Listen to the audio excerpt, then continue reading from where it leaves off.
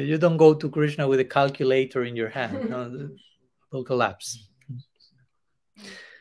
Hmm. That's why Srila Sridhar Maharaj will say that the type of bhakti in Vrindavan is called Gyan Sunya Bhakti. And Brahma already spoke about that in the beginning of his prayers. And Srila Sridhar Maharaj will translate Gyan Sunya Bhakti as brain dead bhakti.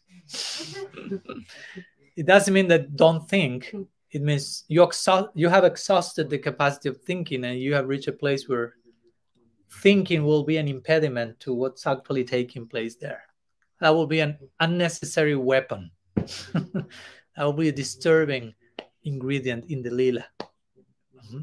Because what, what's taking place there is beyond thinking. Mm-hmm.